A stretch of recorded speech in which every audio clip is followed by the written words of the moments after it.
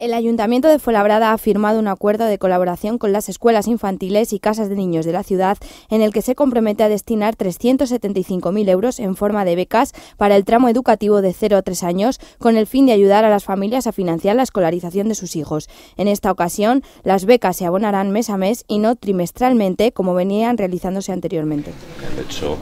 de que van a ser las propias eh, escuelas infantiles junto con las eh, casas de niños las que van a recoger las solicitudes de eh, las becas de las escuelas infantiles públicas y las casas de niños, es decir, las que entreguen las familias.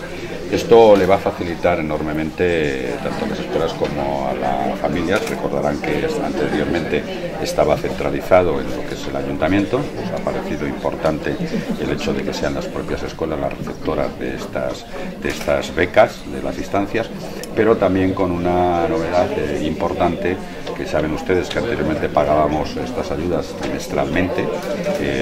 Con esto se va a conseguir que las familias mes a mes pues tengan el descuento en lo que es su,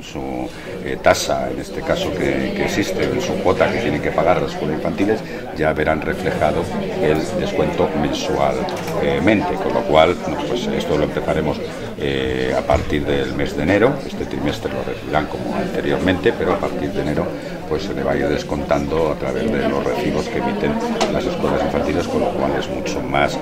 rápido. Para Ana María García, directora de una de las escuelas infantiles, estas ayudas se reciben con mucha alegría.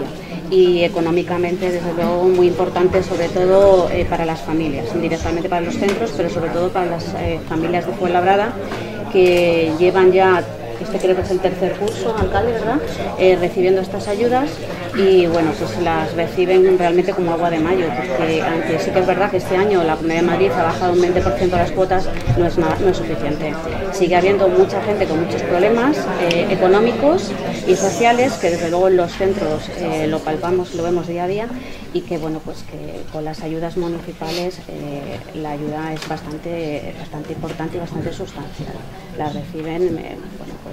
eh, con mucha realmente alegría y están pues eh, deseando recibir.